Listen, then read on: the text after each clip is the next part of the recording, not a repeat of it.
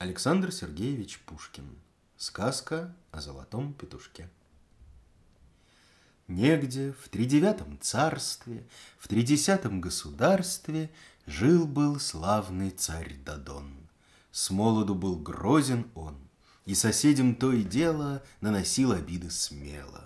Но под старость захотел отдохнуть от ратных дел И покой себе устроить.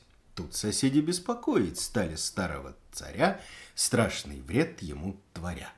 Чтоб концы своих владений охранять от нападений, Должен был он содержать многочисленную рать. Воеводы не дремали, но никак не успевали. Ждут, бывало, с юга, глядь, ан с востока лезет рать. Справят здесь лихие гости, идут от моря. От злости Инда плакал царь Дадон, Инда забывал и сон, что и жизнь в такой тревоге. Вот он с просьбой о помоге обратился к мудрецу, звездочету и скопцу. Шлет за ним гонца с поклоном. Вот мудрец перед Дадоном стал и вынул из мешка золотого петушка. «Посади ты эту птицу, — молвил он царю, — на спицу. Петушок мой золотой будет и верный сторож твой. Коль кругом все будет мирно, так сидеть он будет смирно. Но лишь чуть со стороны ожидать тебе войны Или набега силы баранной, Или другой беды незваной В миг тогда мой петушок Приподымет гребешок, Закричит и встрепенется, И в то место обернется. Царь скопца благодарит, Горы золота сулит, за такое одолжение, говорит он в восхищении, волю первую твою я исполню, как мою. Петушок с высокой спицей стал стеречь его границы. Чуть опасность где видна, верный сторож, как сосна, шевельнется, встрепенется, к той сторонке обернется и кричит «Кирик-ку-ку! Царствуй, лежь на боку!» И соседи присмирели, воевать уже не смели. Таково им царь Дадон дал отпор со всех сторон.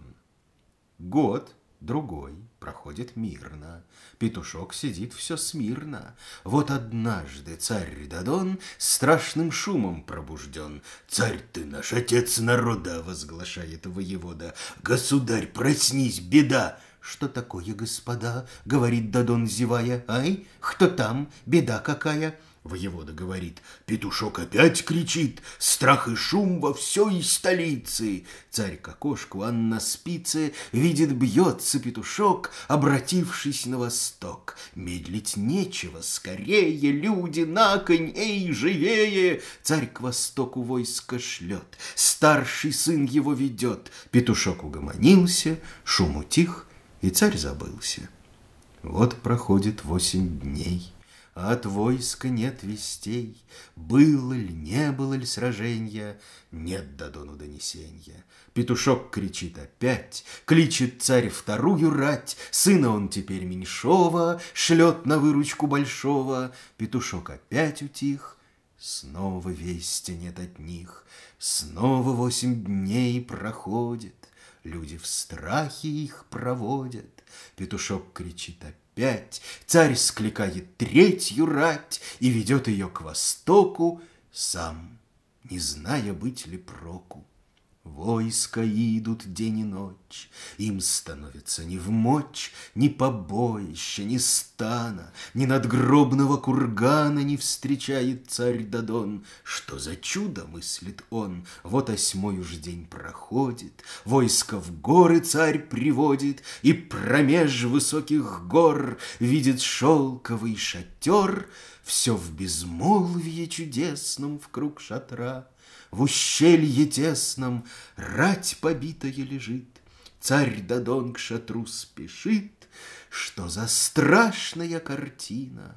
Перед ним его два сына, Без шеломов и без лад, Оба мертвые лежат, Меч вонзивший друг во друга.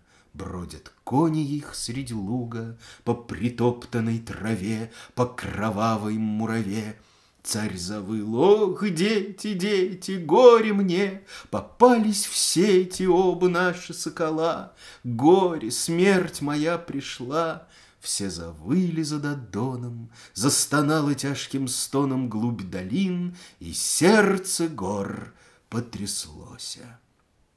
Вдруг шатер распахнулся, И девица, шамаханская царица, Вся сияя, как заря, Тихо встретила царя.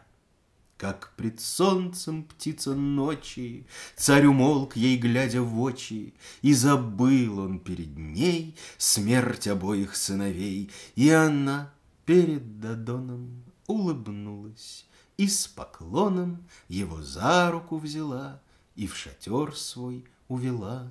Там за стол его сажала, Всяким яством угощала, Уложила отдыхать на парчевую кровать, и потом, неделю ровно, Покорясь ей безусловно, Околдован, восхищен, Пировал у ней Дадон.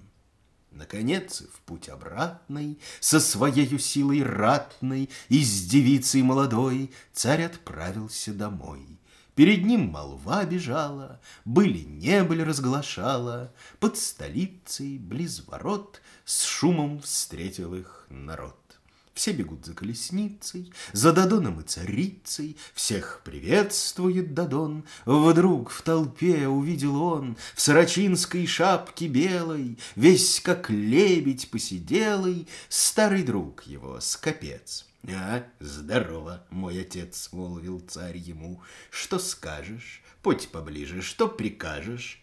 Царь, ответствует мудрец, разочтемся, наконец. Помнишь, за мою услугу обещался мне как другу волю первую мою ты исполнить как свою. Подаришь ты мне девицу, шамаханскую царицу.